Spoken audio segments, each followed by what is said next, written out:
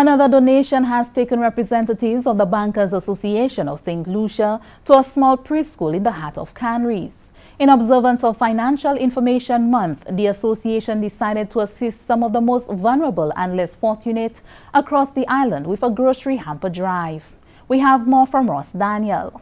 The Canaries Preschool has been a cornerstone in the village for many years.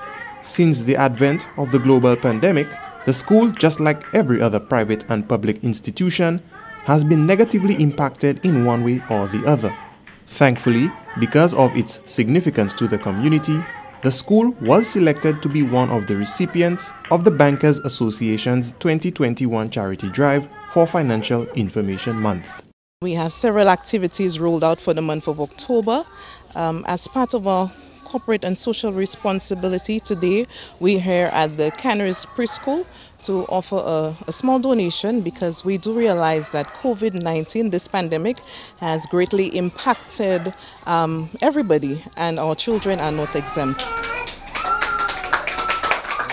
According to St. Omer, in addition to the donation to help the school's feeding program, the association was pleased to represent another contribution on behalf of the Lusker Bernadette Foundation.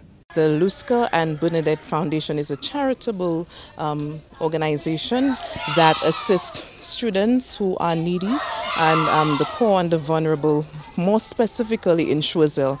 However, they've taken the initiative for the first time to assist the community of Canaries, more specifically the Canaries Preschool, in providing a yes supply of bottled water to the students of the school. Roly, poly, roly, poly, up, ah, up, ah, up. Preschool ah. administrator Claudina Haynes says she can't express how grateful the staff and parents are for the support from both organizations.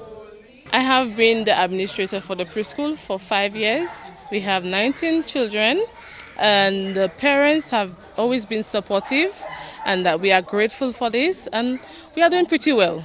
Every October, the Bankers Association of St. Lucia celebrates Financial Information Month by promoting educational campaigns on savings, budgeting, as well as giving back to the less fortunate and vulnerable in society.